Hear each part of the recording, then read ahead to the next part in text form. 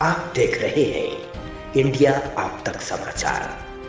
सच्चाई से गहराई तक। खबर पहुँचाए आप तक। प्रधानमंत्री नरेंद्र मोदी ने रविवार को झारखंड में एक कार्यक्रम के दौरान कहा कि सोमवार को वे पाकयोंग में सिक्किम के पहले हवाई अड्डे का उद्घाटन करेंगे। उन्होंने कहा कि इससे सिक्किम देश के अन्य हिस्सों से बेहतर तरीके से जुड़ सकेगा। वही राज्य के लोगों को भी फ़ायदा होगा। इसके लिए पीएम रविवार शाम को ही सिक्किम पहुँच गए। पीएम मोदी ने रविवार को झारखंड की राजधानी रांची से केंद्र की महत्वाकांक्षी योजना, आयुष्मान भारत राष्ट्रीय स्वास्थ्य संरक्षण मिशन की शुरुआत की। दक्षिण पश्चिम ईरान में सैन्य परेड पर शनिवार को हुए हमले में उनतीस लोग मारे गए और सत्तावन से ज़्यादा लोग घायल हो गए।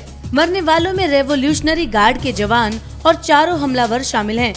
सरकारी न्यूज़ एजेंसी के मुताबिक ये अब तक का सबसे खतरनाक हमला है। ईरान में अरब विरोधी आंदोलन और आईएस के आतंकियों ने इसकी ज़िम्मेदारी ली है। ईरान ने सऊदी अरब और इसराइल पर हमला करने का आरोप लगाया है। बिहार में फिर एक बड़ी वारदात से दहशत है। मुजफ्फरपुर में पूर्व मेयर समीर कुमार तथा उनके ड्राइवर को रविवार की देर शाम सरेआम ए की फोर्टी सेवन ऐसी भून डाला गया। घटना उस समय हुई जब वे कार से घर जा रहे थे। बताया जाता है कि शाम करीब साढ़े छह बजे समीर कुमार अखाड़ा घाट स्थित अपने होटल से निकलकर घर जा रहे थे। बाँध रोड होते हुए उनकी गाड़ी फायर ब्रिगेड कार्यालय से जैसे ही आगे बढ़ी, अपराधियों ने कार को चारों ओर से घेर कर ताबड़तोड़ फायरिंग शुरू कर दी।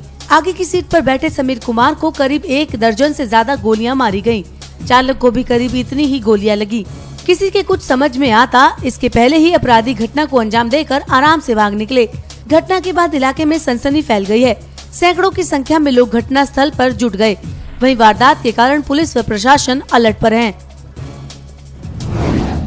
हिमाचल में लाहुल को कुल्लू से जोड़ने वाले रोहतांग दर्रे में करीब एक फुट हिमपात की खबर है। मौसम के बदले तेवरों ने लाहुल और कुल्लू के लोगों की मुश्किलों को बढ़ा दिया है। लेह मार्ग के बारालाचा और स्पीति मार्ग के कुंजुम में डेढ़ फीट बर्फबारी हुई है। लाहुल घाटी में दर्जनों सैलानी फंसे हुए हैं। शनिवार को मनाली से लेह जा रहे सैलानियों और लेह के लोगों ने लाहुल के दारचा में शरण ली।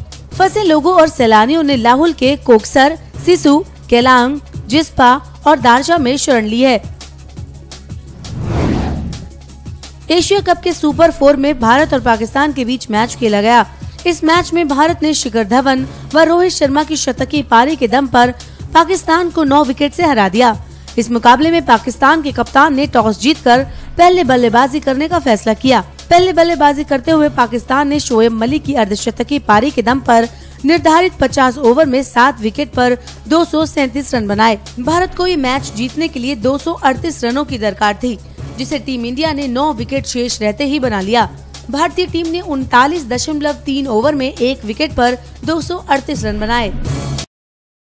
Hey guys, ताज़ा खबरों के लिए लाल बटन दबाकर सब्सक्राइब करें और तुरंत खबर पाने के लिए घंटी के बटन को दबाएँ।